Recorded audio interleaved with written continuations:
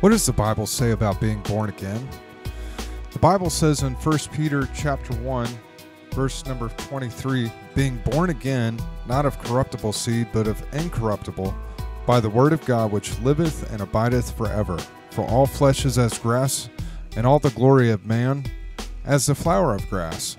The grass withereth, and the flower thereof falleth away. But the word of the Lord endureth forever. And this is the word which by the gospel is preached unto you. You see, Jesus used the words spirit and his words kind of interchangeably because he said, The words that I speak unto you, they are spirit and they are life. And then in John chapter 3, Jesus said that you must be born again. And he goes on to describe the person that is born of the Spirit, and that unless you are born of the Spirit, you cannot enter into the kingdom of heaven. And we see here in 1 Peter chapter 1 that a man is born again by the word of God. And then Peter goes on to explain that this is the word of God, that this is the word which by the gospel is preached unto you.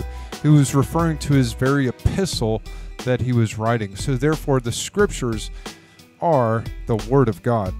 And so we see here that you must be born again. I'm reminded of a certain exorcism by Bob Larson, in which he was performing an exorcism on a demon possessed woman. And the demon boasted to Bob Larson that the woman had not yet accepted Jesus as her personal Lord and Savior, as what as the demon put it, he has not yet she has not yet accepted your God, referring to the Christian Bob Larson, his God Jesus Christ.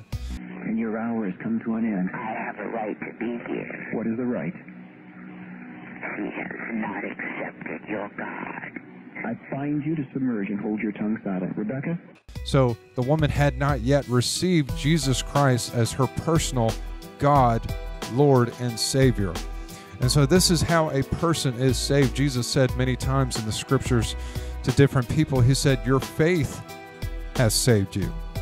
And it is by the faith of a person in the very uh, person, the Godhead, and, and Jesus Christ, knowing Him and accepting Him as your Lord and Savior. This is how a person is saved. That is why the Bible says in Romans chapter 10 that if thou shalt confess with thy mouth the Lord Jesus, and shalt believe in thine heart that God hath raised him from the dead, thou shalt be saved. It's very important that the person believes that Jesus is Lord, that Jesus is divine, that Jesus is equal with the Father. And this is how a person is born again. Thank you for listening to The Value of Truth. I'm Brian Price.